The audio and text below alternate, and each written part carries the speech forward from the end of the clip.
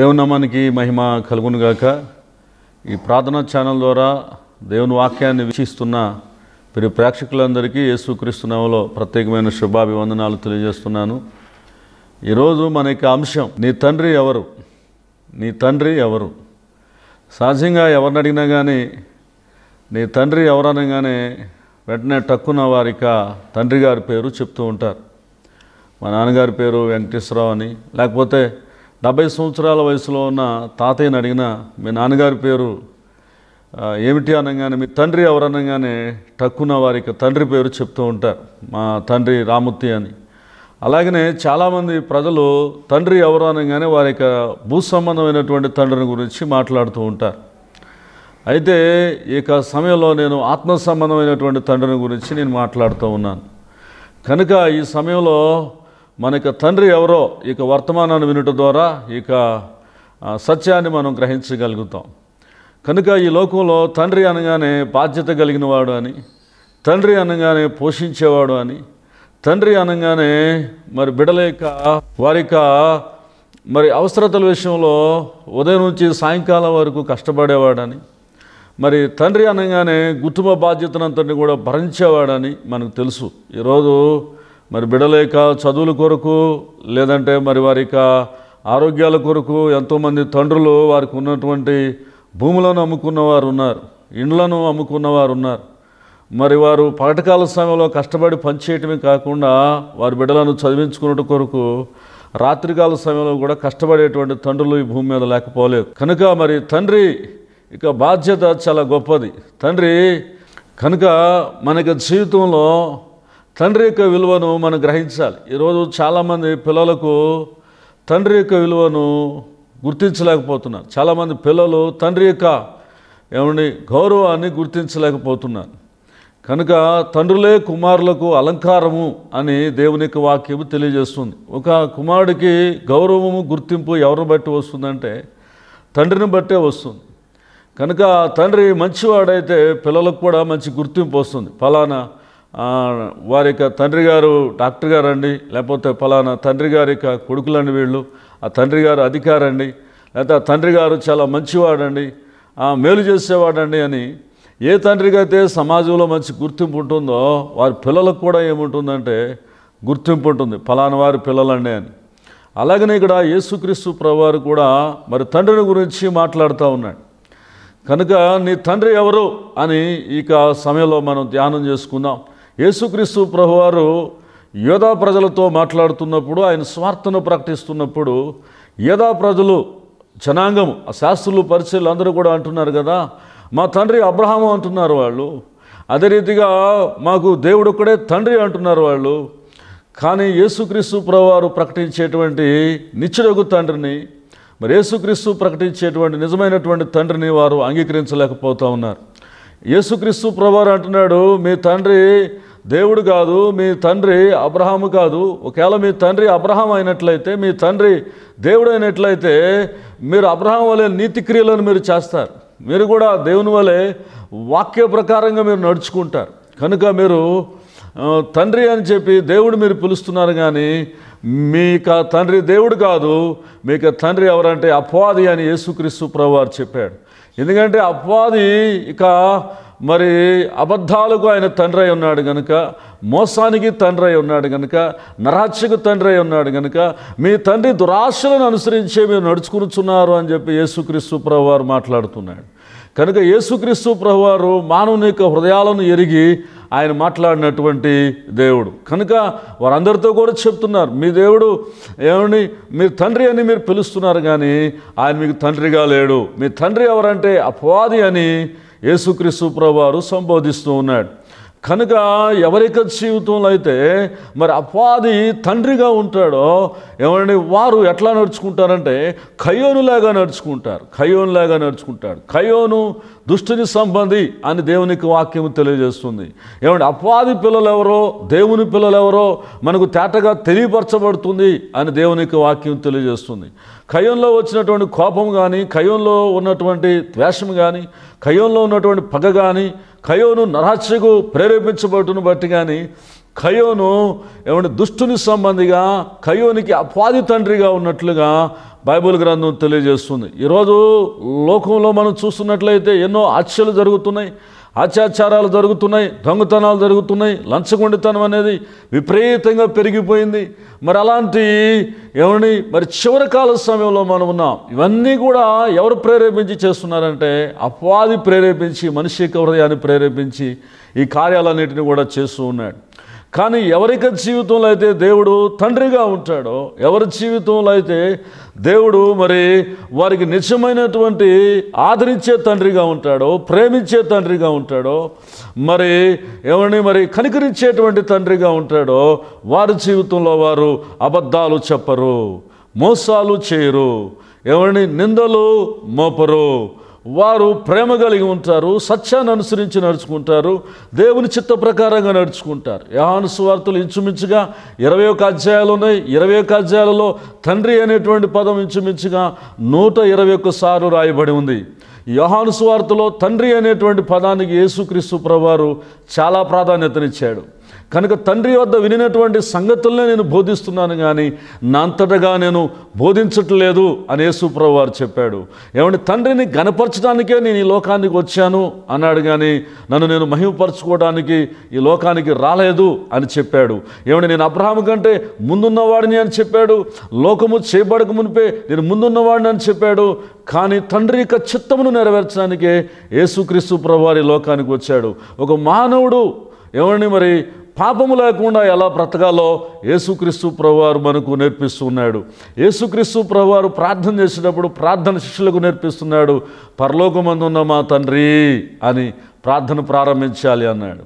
కనుక పరలోకమందున్న మా తండ్రి నీ నామం పరిశుద్ధపరచబడును గాక కనుక ఎప్పుడైతే మనము ప్రార్థనను మనము తండ్రితో మనం ప్రారంభం చేస్తామో ఆ తండ్రి అయినటువంటి దేవుడు ఈ భూమి మీద మనం ఆయన బిడ్డలుగా ఉండటం కొరకు ఆయన ఆత్మను మన హృదయంలో ఏం చేస్తాడంటే ఆయన పుట్టిస్తాడు. ఆయన ఆత్మను మన హృదయంలో కురుమరిస్తాడు. ఆయన ఆత్మ కలిగినటువంటి వారమే మనము. అబ్బా తండ్రి అని మొరపెట్టుచున్నామని అపోసినటువంటి పౌలు రోమ రాసినటువంటి పత్రిక ఎనిమిదవ అధ్యాయము పదమూడు పద్నాలుగు వచనాల్లో మనం చూడగలుగుతాం. అబ్బా తండ్రి అని మరి పౌలు గారు ప్రార్థన చేసినప్పుడు ప్రసవవేదనతో కన్నీళ్ళతో ప్రార్థన చేసినప్పుడు పౌలు గారి ఇక మరి ఇక ఆత్మానుసారమైనటువంటి మనసు ఏ రీతిగా మార్చబడిందంటే క్రీస్తు యొక్క మనస్తత్వంలాగా ఆయనకి మనసు మార్చబడింది. క్రీస్తు యేసు కలిగిన ఈ మంచి మనసు మీరు కూడా కలిగి ఉండండి అని పౌలు గారు చెప్తూ ఉన్నాడు. ఏమండి? మనము ఆయన కుమారులు వగినట్లుగా అబా తండ్రి అని మొరపెట్టేటువంటి ఆయన ఆత్మను మన హృదయంలో కుమ్మరించాడు అని గలతిరిగి రాసినటువంటి పత్రికలో రాయబడి ఉంది. ఈ రోజున నీవు ఒక మార్పు కలిగి మరి సత్యాన్ని అనుసరించి నువ్వు నడుచుకోవాలి అని అంటే నీ జీవితంలో మోసం చేయకుండా ఒక నిజమైన క్రైస్తవుడిగా నువ్వు బ్రతకాలి అని అంటే ఈ లోకంలో నువ్వు ప్రతిరోజు ఎదురవుతున్నటువంటి పోరాటంలో నువ్వు చేయాన్ని నువ్వు చూడగా చూడగలగాలి అంటే అపాధిక్రియలను నువ్వు అనగదొరకాలి అని అంటే శిఖర శక్తుల మీద నీకు చేయి కలగాలి అని అంటే పాపాన్ని నువ్వు చేయించి ఒక విజయశ్వరుడైనటువంటి క్రైస్తవుడిగా నువ్వు బ్రతకాలి అని అంటే నీ జీవితంలో ఎవరు తండ్రిగా ఉండాలంటే దేవుడు మాత్రమే నీ జీవితంలో తండ్రిగా ఉండాలి. ఎప్పుడైతే నీ జీవితంలో దేవుడు తండ్రిగా ఉంటాడో నీవు అపాదిని జయించగలుగుతావు పాపాన్ని జయించగలుగుతావు చీకటిని జయించగలుగుతావు ప్రభు బిడ్డగా నీవు ఈ భూమి మీద నువ్వు ఉండగలుగుతావు. మలాకి రాసినటువంటి గ్రంథంలో రెండవ అధ్యాయం పదవచనంలో రాయబడి ఉంది నిన్ను సృష్టించిన తండ్రి ఒక్కడగాడా? నిన్ను సృష్టించిన తండ్రి ఒక్కడగాడా? నిన్ను సృష్టించిన దేవుడు ఒక్కడగాదా మనందరికీ తండ్రి ఒక్కడగాదా? అని మలాకి భక్తుల ద్వారా ఎవడు మనకు తెలియజేస్తా ఉంది. కనుక మనందరినీ సృష్టించింది దేవుడే. దేవుడే మన యొక్క తండ్రి అని దేవుని యొక్క వాక్యంలో మనకు చాలా స్పష్టంగా రాయబడి ఉంది కనుక మనం దేవుని మనము ఆరాధన చేస్తున్నప్పుడు మనం ఆయన సేవిస్తూ ఉన్నప్పుడు మనకు జీవితాల్లో కావలసినంత కృప ప్రతి దినము కూడా ఆయన మనకు అనుగ్రహిస్తూ ఉంటాడు. ఈరోజు చాలామంది ప్రార్థన చేయలేకపోవడం కారణము చాలామంది మరి నశించిపోతున్న ఆత్మల కొరకు మొర్రపెట్టలేకపోవడం గల కారణము చాలామంది దేవుని సంధిలో విలపించలేకపోవడం గల కారణం ఏమిటంటే దేవుడిని వారి తండ్రిగా వారి హృదయంలో గుర్తించలేకపోవటం. దేవుణ్ణి తండ్రిగా వారికి హృదయంలో నమ్మలేకపోవటం. నమ్మిన ఎడలా మీరు నమ్మిన ఎడల నా మహిమను చూచెదరు అన్నాడు. నమ్మిన ఎడలా ఏమని మీకు హృదయంలో నుంచి జీవజలుపు ఊట వస్తుంది అన్నాడు కనుక మనం ప్రార్థన చేసేటప్పుడు ఫలమైన ప్రార్థన యోధులుగా ఉండాలంటే మన తండ్రి పరలోకమని ఉన్నాడని మనం గుర్తించాలి. ఆ తండ్రి ఆత్మను మన హృదయంలో పెట్టాడని మనం ఎప్పుడైతే విశ్వాసం కలిగి మనం జీవిస్తూ ఉంటామో మనం ప్రభు కొరకు మనం అడుగులు వేయగలుగుతాం. కనుక నీకు నీకు ఆత్మీయమైనటువంటి స్థితి ఎలా ఉంది? నువ్వు దేవుని నువ్వు తండ్రిగా నువ్వు చేసుకున్నావా? లేనట్లయితే మరి అపాది నువ్వు తండ్రిగా చేసుకున్నావా? నువ్వెంతో ప్రార్థన చేస్తున్నప్పటికీ ఇంకా నీ హృదయంలో అసూయ ఉందా? కలహం ఉందా? ఈర్ష ఉందా? పగ ఉందా? క్షమించలేని మనసు ఉందా? ఏమండి మరి ఇంకా నువ్వు నువ్వు నీకు పొరుగువారిని ప్రేమించలేకపోతున్నావా? అయితే ఈ సమయంలో నీకు హృదయాన్ని పరిశీలన చేసుకుని పరీక్షించుకుని నీ తండ్రి అయినటువంటి దేవునికి నీ హృదయంలో కనుక చోటిచ్చినట్లయితే పాది అనేటువంటి తండ్రి నీ జీవితంలో నుండి తొలగిపోయి సత్యమైనటువంటి దేవుడు నీ హృదయంలో వచ్చి ఆయన నిన్ను పరిశుద్ధపరుస్తాడు. క్రైస్తవుడిగా దేవుడు మనల్ని ఎందుకు పిలిచాడంటే పరిశుద్ధంగా ఉండటం కొరకు దేవుడు మనల్ని పిలిచాడు. కనుక మనం మనక జీవితంలో ఆయన మనకు తండ్రిగా ఉండాలన్నా మనం ఆయనకి కుమారులుగా మనం ఉండాలన్నా మనము దేవుని ఆత్మను మనం కలిగి ఉండాలి.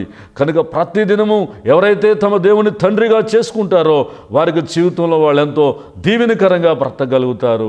పరిశుద్ధాత్మ దేవుడు జ్ఞాని అయినటువంటి సోలోమేనును దర్శించినప్పుడు సోలోమేనుకి ఏమండి దేవుడే తండ్రిగా ఉన్నప్పుడు దేవుని యొక్క వాక్యంలో నుంచి కనుక మనం చూసినట్లయితే ఏమండి మరి ఇంకా సోలోమేను రాజు కాకమునిపే దావితో దేవుడు ఏమని వాగ్దానం చేశాడంటే నీ కుమారుడైన సోలోమేనుకు నేను తండ్రిగా ఉంటాను అని దేవుడు వాగ్దానం చేశాడు. చూడండి దేవునికి వాక్యంలో నుంచి కనుక మనం చూసినట్లయితే ఏమంటే మొదటి దినవృత్తాంతాల గ్రంథము మొదటి దినవృత్తాంతాల గ్రంథము పదిహేడవ అధ్యాయము పన్నెండవ వచనంలో రాయబడి ఉంటుంది.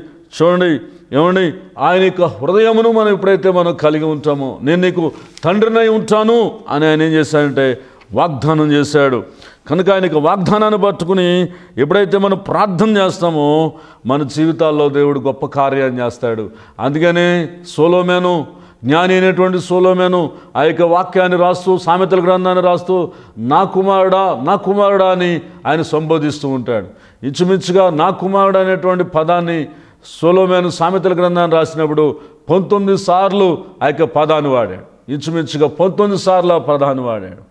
కనుక నీ నా కుమారుడా నీ తండ్రి ఉపదేశాన్ని ఆలకించుము. నా కుమారుడా నీ తండ్రి చెప్పు మాటలకు చెవిగ్గుము నా కుమారుడా నీ తండ్రి చెప్పు ఆజ్ఞలకు నీవు గైకొనుము అని చెప్పి ఏమండి సోలోమేన్ ద్వారా పరిశుద్ధాత్మ దేవుడు మాట్లాడుతూ ఉన్నాడు.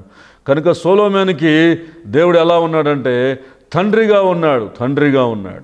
సోలోమేన్ ఏమో కుమారుడుగా ఉన్నాడు. అందుకని మరి సోలోమేన్ యొక్క జీవితంలో దేవుడు గొప్ప కార్యాలు చేశాడు. మందిరాన్ని కట్టించగలిగాడు సోలోమేను నగరాన్ని కట్టించగలిగాడు మరి సామెతల గ్రంథాన్ని రాయగలిగాడు ప్రసంగి గ్రంథాన్ని రాయగలిగాడు. పరమగీతాలను రాయగలిగాడు. కనుక దేవుడిచ్చినటువంటి జ్ఞానాన్ని బట్టి దేవుడిచ్చినటువంటి ప్రేరేపణ బట్టి కనుక దావిది కూడా తన కుమారుడైనటువంటి సోలోమేను కొరకు ఏమని ప్రార్థన చేశాడంటే నా కుమారుడైనటువంటి సోలోమేనుకు నిర్దోషమైన హృదయాన్ని దయచేయనాయనా అని ప్రార్థన చేశాడు.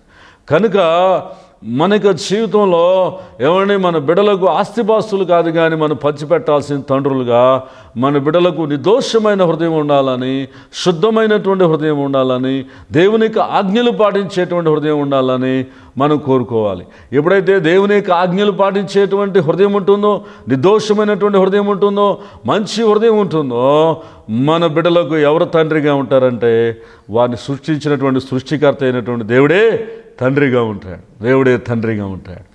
వారి జీవితంలో దేవుడు తండ్రిగా ఉన్నప్పుడు ప్రతి దినము కూడా వారికి ఉన్నటువంటి అవసరతలను దేవుడు తీరుస్తాడు.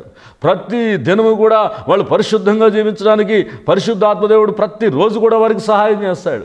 ప్రతిరోజు కూడా ఆదరించే తండ్రిగా ప్రేమించే తండ్రిగా కనికరించేటువంటి తండ్రిగా దేవుడు వారి జీవితంలో ప్రత్యక్షపరుచుకుంటాడు ప్రత్యక్షపరుచుకుంటాడు.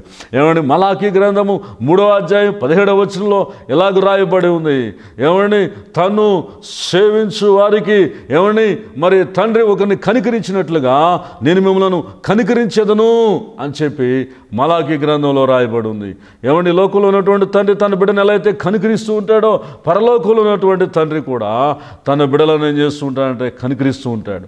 ఈ లోకంలో తండ్రి చూపించేటువంటి కనికరం కంటే కూడా పరలోకంలో ఉన్నటువంటి తండ్రి చూపించేటువంటి కనికరము చాలా గొప్పది చాలా గొప్పది చాలా గొప్పది.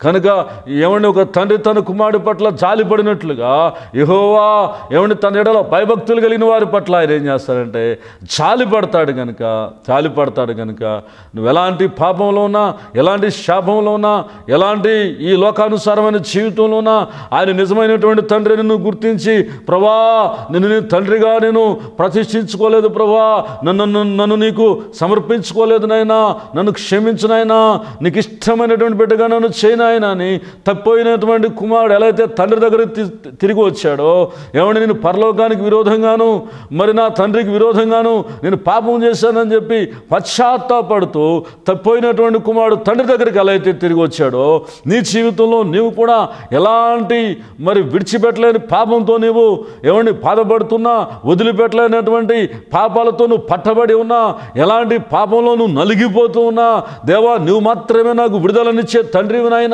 నువ్వు మాత్రమే నా పట్ల కనికరం చూపించే తండ్రివి నాయనా. నువ్వు మాత్రమే నా జీవితాన్ని మార్చే తండ్రివి నాయనా. అని తప్పిపోయినటువంటి కుమారుడు ఎలా అయితే ఏమండి తండ్రి దగ్గర మరి పశ్చాత్తాపడుతూ తండ్రి దగ్గర తిరిగి వచ్చాడో నీ జీవితంలో కూడా మరి నిజమైనటువంటి తండ్రి నిన్ను సృష్టించినటువంటి తండ్రి నిన్ను నిర్మించినటువంటి తండ్రి నిన్ను కలగజేసినటువంటి తండ్రి ఈ తండ్రి దగ్గర కూడా మళ్ళా నువ్వు తిరిగి వచ్చి నాయనా నా బ్రతుకు నేను మార్చుకోలేకపోతున్నాను నా బ్రతుకు నేను సరి చేసుకోలేకపోతున్నాను నా బ్రతుకు నేను బాగు చేసుకోలేకపోతున్నాను. నన్ను క్షమించు నాయనా అని చెప్పి సుంకరవలే నిన్ను తగ్గించుకుని పశ్చాత్తపడి నువ్వు ప్రార్థించినట్లయితే ఈ సజీవుడైన తండ్రి నిత్యము ఉండే ఈ తండ్రి ఈ నిత్యుడగు తండ్రి ఆయన నీ హృదయంలోనికి వచ్చి నిన్ను దర్శించి ఈ సమయంలోనే ఆయన నీ హృదయాన్ని మార్చడానికి ఇష్టపడుతున్నాడు. ఈ సమయంలోనే ఆయన నిన్ను దర్శించడానికి ఇష్టపడుతున్నాడు. ఈ సమయంలోనే నీ బ్రతుకును మార్చి నిన్ను ఆయన కుమారుడుగా చేసుకోవాలని ఇష్టపడుతున్నాడు. ఎప్పుడైతే నువ్వు ఆయన కుమారుడుగా నువ్వు మార్చబడతావో ఆయన నిన్ను విడిచిపెట్టేటువంటి తండ్రి కాదు. ఆయన నీకు దూరంగా ఉండేటువంటి తండ్రి కాదు. ఆయన నిన్ను వదులుకునేటువంటి తండ్రి కాదు. ఆయన నీలో ఉండి నిన్ను నిత్యము నడిపించేటువంటి తండ్రి. ఆయన నీలో ఉండి నిత్యము నీకు జ్ఞానమునిచ్చేటువంటి తండ్రి. ఆయన నీలో ఉండి నిత్యము కూడా నిన్ను ఏమండి పరిశుద్ధముగా కాపాడేటువంటి తండ్రి. ఆయన నీలో ఉండి నిత్యము కూడా ఏమండి ఆయన చిత్తము చేయటానికి నేను బలపరిచేటువంటి తండ్రి కనుక ఇలాంటి తండ్రిని కనుక నువ్వు కలిగి ఉన్నావంటే ఈ భూమి మీద నువ్వు ఎలా ఉండగలుగుతావు తెలుసా? సుఖజీవంతో నీ సంవత్సరాలను గడపగలుగుతావు క్షేమకరంగా నీ దినాలు ఉంటాయి. నీ దినాలన్నిటిలో కూడా దేవునికి ఆశీర్వాదాన్ని నువ్వు చూడగలుగుతావు. అయ్యా ఈరోజు కూడా నీ కొరకు బ్రతకగలిగే భాగ్యాన్ని నాకు ఇచ్చావు నాయనా అని నువ్వు కన్నీటితో దేవునికి వందనాలు చెప్పగలుగుతావు. వందనాలు చెప్పగలుగుతావు. ఎందుకనంటే ఈ తండ్రి నీకు మంచి జీవితాన్ని ఇచ్చే తండ్రి. ఈ తండ్రి నేను భద్రంగా కాపాడేటువంటి తండ్రి. ఈ తండ్రి నీ దినమును కావలసిన ప్రతి అవసరతను తీర్చే తండ్రి. ఈ తండ్రి నువ్వు బ్రతికినంత కాలం కూడా ఎవరిని దేవుని వాక్య ప్రకారం జీవించడానికి శక్తినిచ్చేటువంటి తండ్రి. ఈ తండ్రి నువ్వు అత్తుకుని నువ్వు ఉండగలుగుతావా? ఈ తండ్రి దగ్గరికి నువ్వు రాగలుగుతావా? ఈ ఈ తండ్రి కావాలని నువ్వు మనస్ఫూర్తిగా నువ్వు వేడుకోగలుగుతావా? నీ పూర్ణ హృదయంతో నీ పూర్ణ మనసుతో ఈ తండ్రి వైపు కనుక నువ్వు తిరిగినట్లయితే ఆయన నీ బ్రతుకును మారుస్తాడు. ఆయన నీ జీవితంలో గొప్ప అద్భుతమైనటువంటి కార్యాన్ని చేస్తాడు. నీ జీవితంలో నువ్వు ఎవరిని తండ్రిగా కలిగి ఉన్నావు? నీ జీవితంలో ఎవరిని తండ్రిగా కలిగి ఉన్నావు? ఇంకా నువ్వు ఏమని మరి ఈ ఈ లోక ఆశలు దురాశలు ఆ, పాదిని నువ్వు తండ్రిగా కలిగి ఉన్నావా? సత్యమును ప్రేమను కనికరమును కోరుకునేటువంటి పరిశుద్ధంగా జీవించేటువంటి దేవుని జీవితంలో నువ్వు తండ్రిగా కలిగి ఉన్నావా? ఈ సమయంలో నిన్ను నువ్వు పరిశీలించుకో పరీక్షించుకో. ప్రభుకు నీకు హృదయంలో చోటు ఈ సమయంలో.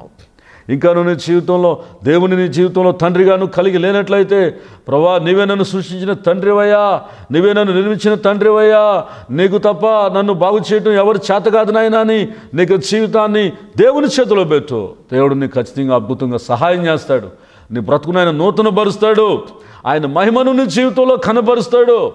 నీ జీవితాన్ని నిర్చింపజేస్తాడు నీ జీవితంలో ఏ పరిస్థితి అయితే మారలేదనుకున్నావో నీ జీవితంలో ఎక్కడైతే నువ్వు బాగుపడలేను అనుకుంటున్నావో నీ జీవితంలో ఎక్కడైతే నువ్వు సరిచేయబడలేని అనుకుంటున్నావో నీ జీవితంలో ఎక్కడైతే నువ్వు దిద్దబడలేని అనుకుంటున్నావో నీ జీవితంలో అక్కడ నువ్వు దిద్దబడతావు అక్కడ నువ్వు సరిచేయబడతావు నీ బిడ్డలకు నీవు కూడా ఎట్లా మారుతావంటే ఒక ఆశీర్వాదకరమైన తండ్రిగా నువ్వు మార్చబడతావు. ఒక దీవెనకరమైనటువంటి తండ్రిగా నువ్వు మార్చబడతావు.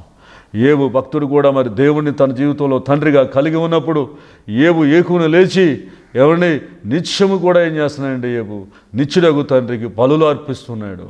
దేవుడు తనకి ఇచ్చినటువంటి పది మంది బిడలు ఎక్కడైనా హృదయంలో దేవుని దూషించి పాపము చేదురేమో వాళ్ళు దేవునికి ఆశీర్వాదాన్ని కోల్పోతారేమో అని చెప్పి తన బిడ్డలకు ఒక ఆశీర్వాదకరమైన తండ్రిగా ఉండటం కొరకు ఏబు ఏకూనేం చేస్తాయంటే కన్నెళ్ళతో కన్నీళ్ళతో ప్రార్థన చేసేవాడు. కన్నెలతో దేవుని స్తుతించేవాడు. కన్నెలతో దేవుని ఆరాధించేవాడు. కనుక ఏబు యొక్క జీవితంలో దేవుడు గొప్ప కృపను చూపించాడు. కనుక మరి తన బిడ్డలు పది మంది కూడా మరి పరీక్షించబడినప్పుడు చనిపోయినప్పటికీ ఆ పది మంది ఎక్కడికి వెళ్ళారో తెలుసా? పరలోకానికి వెళ్ళారు. దేవునికి మహిమ కలుగునుగాక కారణం ఏంటంటే ఏహు ఏకుని లేచి తన బిడ్డలకు ఏం వేశాడంటే ప్రార్థన అనే కంచె వేశాడు. ప్రార్థన అనే కోట వేశాడు. ఏహు యొక్క ఆత్మను దేవుడు సంరక్షించాడు. ఏహును కాపాడుచున్నటువంటి దినాలలో ఏబు ఉంటే ఎంత బాగుండు అనుకున్నాడు. కనుక ఏబు యొక్క జీవితంలో దేవుడు గొప్ప మేలును చేశాడు. నీ కుటుంబానికి నువ్వు ఆశీర్వాదకరమైన తండ్రిగా ఉన్నావా? నీ బిడ్డలకు నువ్వు ఒక దీవెనకరమైన తండ్రిగా ఉన్నావా? అయ్యో నా తండ్రి ఒక మాట మాట్లాడితే నేను దీవించబడతాను అన్నట్లుగా ఏబు యొక్క కుమారులు కుమార్తెలు ఎదురు చూసేవాళ్ళట. దావేది ఒక మాట మాట్లాడితే మేము దీవించబడతాం అన్నట్లుగా వారి కుమారులు ఆ తండ్రి మాట కొరకు ఎదురు చూస్తూ ఉండేవారట. కనుక నీ నోటి మాటలు దీవెనికరంగా ఉన్నాయా? నీ నోటి మాటలు ఆశీర్వాదకరంగా ఉన్నాయా? ఒకసారి పరిశీలించుకో. నేను ఆశీర్వాదకరంగా మార్చే తండ్రి ఈ తండ్రి. నువ్వు ఎలాంటి కష్టంలో ఉన్నా ఎలాంటి శ్రమలో ఉన్నా ఎలాంటి ఇరుకులో ఉన్నా నేను ఆదరించేటువంటి తండ్రి ఈ తండ్రి. నువ్వు ఎలాంటి శోధనలో ఉన్నా ఎలాంటి భయంలో ఉన్నా నేను నీకు తోడై ఉన్నానని చెప్పి నీకు ధైర్యాన్ని ఇచ్చేటువంటి తండ్రి ఈ తండ్రి. నువ్వు బ్రతికినంత కాలం కూడా ఆయన నీకు తోడుగా ఉండి నిత్యము కూడా నేను నడిపించేటువంటి తండ్రి ఈ తండ్రి. కాబట్టి ఈ తండ్రికి నీ హృదయంలో చోటు. ఎందుకంటే ఈ తండ్రి నేను ఎంతగానో బహుగా ఆయన ప్రేమించి ఆయన నీ కొరకు ప్రాణం పెట్టాడు రక్తాన్ని గార్చాడు నీ పాపభారాన్నంతటిని కూడా ఆయన భరించాడు. కనుక ఆయన నీ కొరకు ఎంతగానో నలకొట్టబడ్డాడు. ఇలాంటి ప్రేమ కలిగిన తండ్రి నీ జీవితంలో ఎవరూ లేరండి. ఆయన నిజమైనటువంటి తండ్రి కనుక ఆయన తనకి వాక్యం ద్వారా నేను నీకు ప్రత్యక్షపరచుకుంటున్నాడు. ఆయన సజీవుడైన తండ్రి కనుక నేను ప్రేమించే తండ్రి కనుక ఈ వాక్యం ద్వారా మరొకసారి నీ హృదయంలో ఆయనకు చోటు కావాలని ఆయన కోరుకుంటున్నాడు. ఒకవేళ నువ్వు మందిరానికి వెళ్తున్నా పాటలు పాడుతున్నా ప్రార్థన చేస్తున్నా హృదయంలో ఆ ప్రేమ గల తండ్రికి ఆత్మస్వరూపుడైన తండ్రికి నీ హృదయంలో చోటు ఇవ్వలేదేమో. ఈ సమయంలో నీ హృదయంలో ఒకసారి ఆయనకి చోటిచ్చి చూడు. ఆయన జీవితాన్ని ఏమండి శుద్ధ సువర్ణముగా పవిత్రంగా ఆయన మార్చేస్తాడు. ఏ లోపం లేనటువంటి హృదయాన్ని ఆయన నీకు ఇస్తాడు. ఏ మాలిన్యం లేనటువంటి మంచి మనసు ఆయన నీకు ఇస్తాడు. ఆయనలాగా ప్రేమించే తండ్రి లోకంలో ఎవరు లేరండి. ఆయనలాగా క్షమించే తండ్రి లోకంలో ఎవరు లేరండి. ఆయనలాగా కనికరించే తండ్రి లోకంలో ఎవరు లేరండి. ఆయన కూడా మాత్రం వెళ్ళి ప్రేమిస్తాడు. ఆయన కూడా మాత్రం వెళ్ళి క్షేమిస్తాడు. ఆయన కూడా మాత్రం వెళ్ళి కలికరిస్తాడు నీ పాప రోత హృదయాన్ని మార్చి నీళ్ళు పరిశుద్ధపరుస్తాడు. నువ్వు ప్రతిలిచ్చేవు పరిశుద్ధుడు పరిశుద్ధుడు పరిశుద్ధుడైన తండ్రి అని ఆయన ఆరాధించగలిగేటట్లుగా ఆయన నీకు నూతనమైన జీవితాన్ని ఇస్తాడు. నువ్వు ప్రార్థన చేస్తున్న జీవితంలో పరిశుద్ధతను కలిగి ఉన్నావా? పరిశుద్ధత కలిగి లేనట్లయితే ప్రభు సన్నిధిలో పశ్చాత్తాపడు. తప్పైన కుమారులాగా పశ్చాత్తాపడు. సుంకరలాగా పశ్చాత్తాపడు. ఆయన నీలోనికి వచ్చి నీ బ్రతుకును మార్చి ఆయన నీ జీవితంలో నిత్యుడగు తండ్రిగా ఉంటాడు. ప్రార్థన చేసుకుందాం.